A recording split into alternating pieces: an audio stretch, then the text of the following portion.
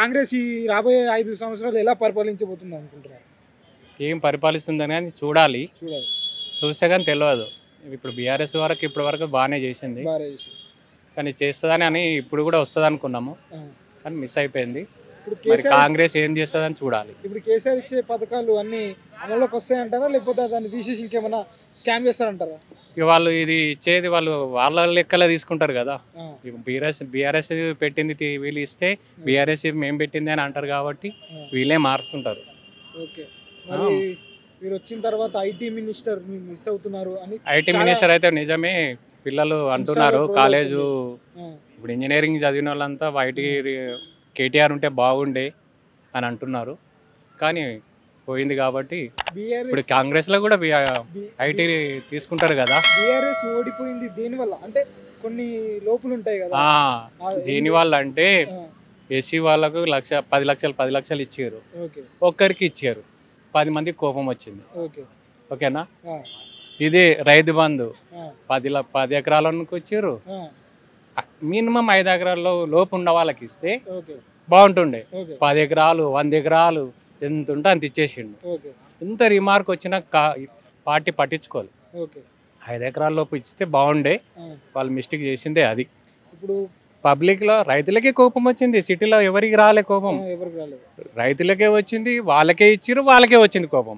ఇప్పుడు మళ్ళీ మనం ఇక్కడ ఉన్నాము. మనం నార్మల్గా చిన్న చిన్న కంపెనీలో పని చేసుకుంటున్నాము? పని చేసుకొని దాంతో బతుకుతున్నాం. దాని మీదనే డిపెండ్ అయి ఉన్నాము. కానీ మనకు వచ్చింది ఏం లేదు. బీఆర్ఎస్ ఏమి ఇవ్వలేదు కాంగ్రెస్ ఏమి ఇవ్వలేదు. మనం ఇదే చిన్న చిన్న కంపెనీలో చేసుకోవడం బతకడం తప్ప ఏం లేదు సిటీలో.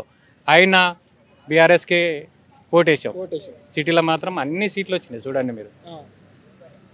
ఊర్లో మాత్రం మొత్తం కాంగ్రెస్. ఇప్పుడు కాంగ్రెస్ అన్ని ఉచిత పథకాలు. అవును. చెప్తుంది. అంటే ఎంతవరకు చేస్తే తెలియదు కదా. చూస్తే కానీ తెలియదు. ఆ రైతులకు మాత్రం మొత్తం కట్ చేయాలి.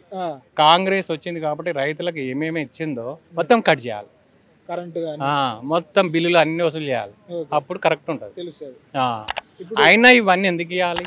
ఇప్పుడు ఏపీ ఏపీలో అన్ని ఫ్రీగా ఇస్తున్నారు కదా వాళ్ళు సోమరిపోతులు అయ్యారు. సిటీ ఇప్పుడు ఇక్కడ కూడా అంతే. నీకు రైతులకు కూడా అదే. నెక్స్ట్ రైతులకు కూడా అదే అవుతుంది ఇప్పుడు. ఫైవ్ ఇయర్స్ తెలంగాణలో కూడా అదే ప్రాబ్లం. నెక్స్ట్ ఫైవ్ ఇయర్స్ ఈ కాంగ్రెస్ ఏది చేస్తే మళ్ళీ ఫైవ్ ఇయర్స్ తర్వాత గెలుస్తారు అని మీరు అనుకుంటున్నారు? ఫైవ్ ఇయర్స్ తర్వాత గెలుస్తుంది అంటే వీళ్ళలాగా చేయొద్దు. బీఆర్ఎస్ వాళ్ళలాగా. రైతులకు ఇంతగానం ఇచ్చి వాళ్ళను సోమరపత్రం చేయడమే రాంగ్.